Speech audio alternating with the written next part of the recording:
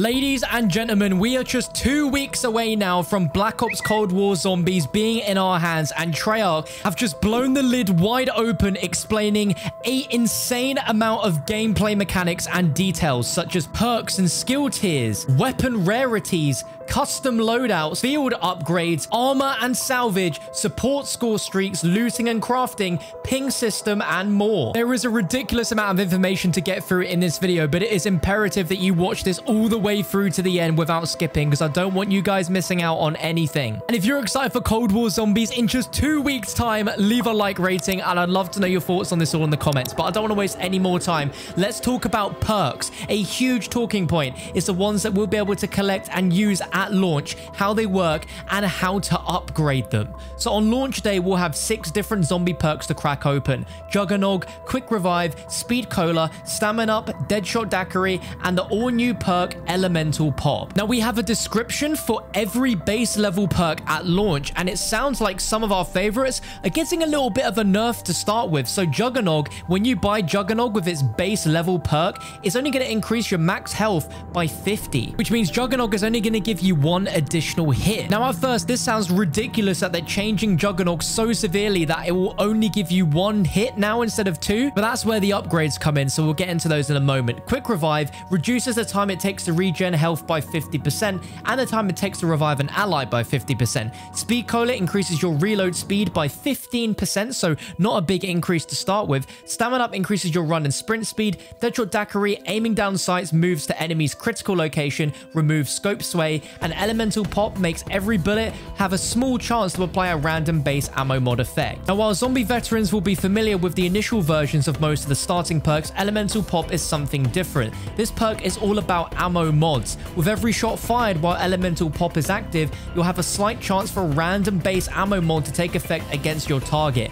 An incredibly useful tool for when your back's up against the wall. But what happens when you want to take your perks to the next level? Well, that's where the all new skill tiers come in. And in zombies, every perk can be permanently upgraded to three levels. That's right, permanent upgrades. So to upgrade perks, you're going to need to earn something called raw Aetherium crystals by reaching milestone rounds within the game or through successful exfiltration. What's more, you'll be able to upgrade skills related to field upgrades, ammo mods, and weapon classes to help you stay alive even longer as you collect and invest more Aetherium crystals. Over time, you'll use these crystals to improve the tools in your arsenal, improving their damage and utility to help you reach higher rounds. As an example, here here's how upgrading the Elemental Pop perk from its tier 1 effects to its tier 3. So tier 1 will have equipment damage, also having a small chance to apply a random base ammo mod effect. Tier 2 will reduce the ammo mod cooldown by 20%, and tier 3 is when a random ammo mod is applied, it uses your current skill tier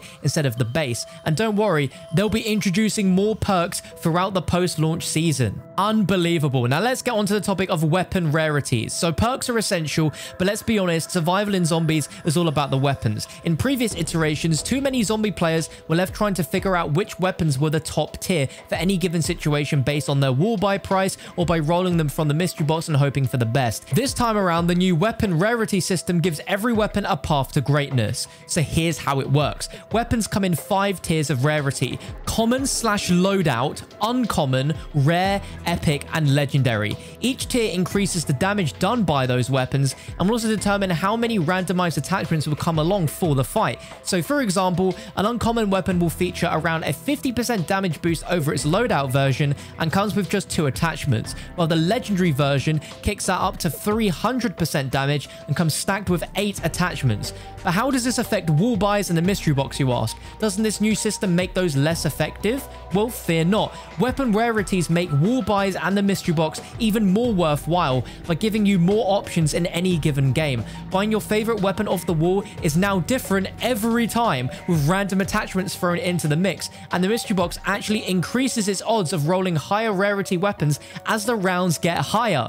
This creates a new layer of strategy to keep in mind as the match goes on. What happens if you hit the jackpot on your first spin of the mystery box and get an epic magnum at round 10 and then roll an uncommon AK-74U on your next spin? Let's just say you're more comfortable with SMGs, but you know your damage potential will become lower as a result of switching. Which one do you keep? Well, previously, if you had a strong weapon in the mystery box, you had very little motivation to put it back. Now, if you roll a weapon you're happy with early in the game, you can return 10 rounds later and try to roll the legendary version. The mystery box also now includes support items such as the sentry turret and the war machine, which always comes in handy. And a quote from the lead zombie systems designer, Kevin Drew, I've been playing zombies for 10 years and this is the most excited I've ever been when opening the mystery box. Now let's talk about custom loadouts because this is something which worried me a little bit. Now first and foremost, empowering players to bring all of their unlocked weapons and cosmetics into zombies takes the action up a notch and gets everyone into higher rounds faster. It gives the player more freedom to play the way they want to play, especially for those who want to get a better feel for how much fun zombies can be after the first few rounds. Loadouts don't change the classic zombies formula as much as we might think, however. If starting out with a classic 1911 is your jam, you can do that. The design team carefully considered how loadouts would affect weapon progression, and as such, loadouts are simplified compared to those in multiplayer. So you can only bring in a single weapon and a field upgrade with your zombies loadout. Furthermore, that single weapon will have its attachments and cosmetics, but it will be the lowest rarity available, meaning the common version. That means that the starting weapon you bring in won't be very effective at killing zombies after a handful of early rounds, and you'll still need to get out there and find other weapons quickly. You can also upgrade the rarity of your loadout weapon in-game, so you can keep your customized loadout weapon into higher rounds if that's more your style. Now with the loadout, not only do you have your weapon, but you have field upgrades, and these are entirely different from the field upgrades you find in multiplayer and for good reason. These are tools designed to fit the narrative of the Dark Aether story and provide a welcome power spike as part of the combat loop without making players overpowered in the process. So there are going to be five field upgrades available at launch, and we see these in different parts of the trailers. Frost Blast, which creates a frigid blast of wind that deals frost damage and slows enemies caught inside of it. Slowed enemies take additional damage. Healing Aura, which summon beams of energy down on yourself and allies to heal to full health instantly. An Energy Mine, which creates a mine of pure energy that detonates on proximity of enemies, dealing explosive damage. Ring of Fire, which creates a ring of ethereal fire that boosts damage for you and your allies. Normal enemies who enter gain a burning effect that deals fire damage, and Aether Shroud phase into the dark Aether for 5 seconds, becoming hidden from enemy detection. The design of these are to take inspiration from several abilities in previous games, including certain gobblegums, elixirs, and even non-passive perks. Each one is balanced with an appropriate number of zombie kills required to charge it. For example, the Healing Aura has the upgraded ability to revive players in the map remotely. What the heck? But it requires double the kills to charge than an offensive-based field upgrades such as an Energy Mine. Now, let's talk about armor and salvage. I touched that on a video a little while ago, but finding the parts to build and craft a zombie shield is no more. It's been replaced with a new armor system, which provides a 360 degree layer of protection from the armies of the undead. Armor can be found as a rare drop from zombies or purchased using salvage. When it's worn, it will mitigate a portion of incoming damage. Every hit will still deal damage, but its durability is limited. Although armor is partially repaired by picking up an armor shard dropped from certain enemies, it's a finite resource and you'll find yourself vulnerable again once you run out of salvage to repair it. We can also fully repair armor by picking up a carpenter power up. Now armor can also be upgraded to two additional levels, increasing its damage mitigation and durability. And you're going to need it as the rounds progress because zombies grow stronger every round. So it sounds like there's no health cap like there was in Black Ops 4. But remember, even when paired with an upgraded Juggernog perk, no amount of armor can save you if you find yourself overrun, especially as rounds get higher and the challenge increases. Now let's talk about support and score streaks. So Treyarch wanted to bring score streaks to zombies for a long time, and now that player progression is unified, there's never been a better opportunity. While certain zombie maps have included some variants of these in the past, the new Dark Aether narrative offered the perfect chance to finally carry over some of the militarized versions into zombies to raise the stakes even higher. Here is the full list of support that we can use in zombies. A combat bow, a sentry turret, a war machine, a chopper gunner, and a self-revive.